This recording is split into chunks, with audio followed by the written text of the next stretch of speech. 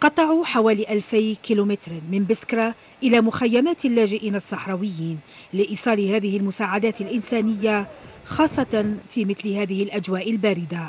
جمع حوالي 185 طن من مختلف آه، الأغذية فيها تمور فيها ألبسة فيها خضر وفواكه من مختلف البلديات خاصة نذكر بلدية جامعة بلدية الدوسن بلدية الغروس بلدية طولقة وبعض المحسنين ورجال الأعمال من مدينة بسكرة وفيه شخص آخر من ولاية وهران وولاية مسيلة إحنا جينا هنا باش نعاونوا نتآزروا مع إخواننا الصحراويين اللاجئين في المخيمات الصحراوية باش نزيدوا نعطيو لهم دعم معنوي ونفسي.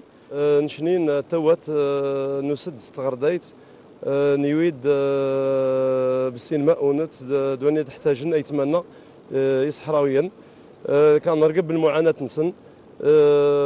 إن شاء الله نطلب ربي إن شاء الله هذه يشمر غفسن الهلال الأحمر الصحراوي ثمن كثيرا روح التضامن والتكافل لدى الجزائريين.